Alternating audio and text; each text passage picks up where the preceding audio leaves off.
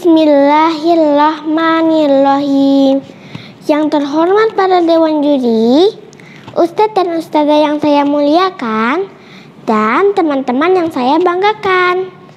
Assalamualaikum warahmatullahi wabarakatuh.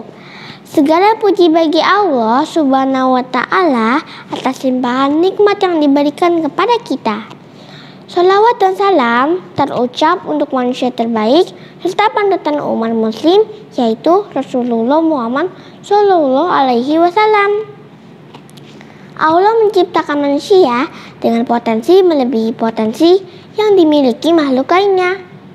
Dengan demikian, mereka takluk, halah, menyerah, dan hormat kepada manusia. Maha suci Allah yang telah menciptakan manusia di atas yang lain. Hal ini juga disebut dalam surat At-Tin ayat 4. Bismillahirrahmanirrahim. Laqad khalaqnal insana fi ahsani taqwim.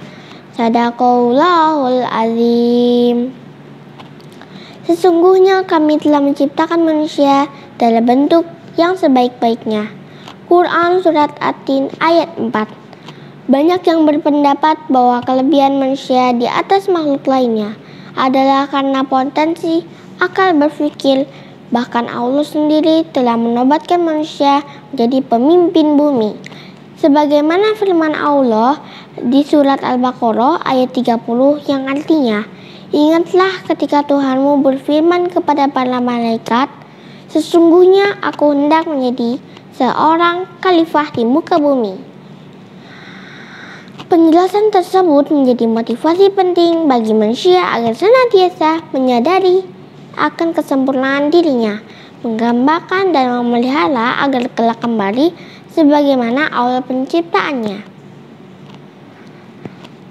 Terdengar satu pertanyaan jamaah dalam sebuah acara kepada Profesor Quraish Shihab tentang manusia terbaik Beliau menjawab bahwa manusia terbaik adalah manusia yang dapat menjalankan apa-apa yang menjadi tujuan ia diciptakan. Bismillahirrahmanirrahim. Wa ma khalaqtum jinna wal insa illa liya'budun. Dan aku tidak menciptakan jin dan manusia melainkan supaya mereka mengabdi kepadaku. Quran Surat Az-Zariyat ayat 56 Konsep manusia terbaik adalah orang yang beriman harus itu bersikap lemah dan tidak ada kebaikan bagi seorang yang tidak bersikap lemah. Dan sebaik-baik manusia adalah orang yang paling bermanfaat bagi manusia. Maka di akhir pidato ini saya mengajak teman-teman semua marilah kita selalu berusaha untuk menjadikan diri ini tetap istimewa sebagaimana penciptaan dan menjadikannya bermanfaat untuk diri dan orang lain serta seluruh makhluk Allah di muka bumi ini. Nun wal qalami wa ma yasturun. Assalamualaikum warahmatullahi wabarakatuh.